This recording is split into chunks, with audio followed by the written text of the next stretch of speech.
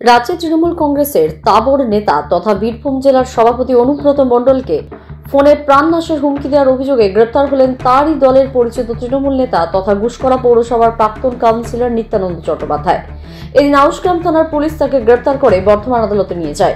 আদালতে ঠোকার পথে অনুব্রত মণ্ডলের বিরুদ্ধে হুমকি প্রসঙ্গে নিত্যানন্দবাবু বলেন, অনুব্রত হরপে কেষ্ট মণ্ডলের স্ত্রী যখন ক্যান্সারে আক্রান্ত হয়েছিলেন, তখন অনুব্রত বাবু নাকি নিত্যানন্দ বাবুর কাছ থেকে ধার স্বরূপ কুড়ি লক্ষ টাকা তার স্ত্রীর চিকিৎসার জন্য নিয়েছিলেন।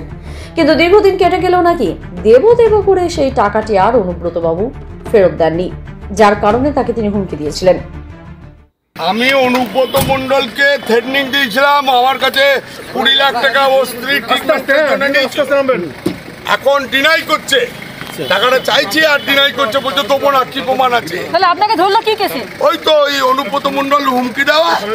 সোশ্যাল মিডিয়ায় আপনার বিদ্বেষমূলক কোনো অডিও ক্লিপ আপনি দিয়েছিলেন? না আমি কোনো সোশ্যাল মিডিয়ায় কিছু দিইনি। যা বলেছি কেষ্ট মন্ডলকে আবার আবার বেল পেয়ে গিয়ে যতদিন পর বেল পাবো কেষ্ট মন্ডলে গিয়ে কলার ধরবো।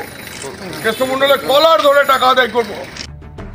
নিত্যানন্দবাবু বিস্ফোরকভাবে আরও বলেন অনুব্রত বাবু নাকি নিজেকে সিএম এর ওপরে ভাবছেন তার লজ্জা দরকার। বর্তমানে তিনি এত টাকার মালিক কোথা থেকে কীভাবে এলো সেই বিষয়েও তিনি প্রশ্ন তোলেন।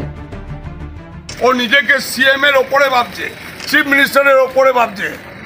লজ্জা করা উচিত কেষ্টমন্ডলে অন্যদিকে কুড়ি লক্ষ টাকার এই ধামাচাপা কেসের বিষয়বস্তু নিয়ে ইতিমধ্যে রাজ্য রাজনীতিতে তোলপাড় শুরু হয়েছে।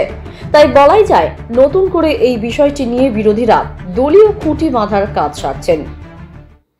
সম্পূর্ণ সুরক্ষিত এবং স্বাস্থ্যকরভাবে আটই জুন থেকে আবার ওপেন হচ্ছে Arambagh resort and water park.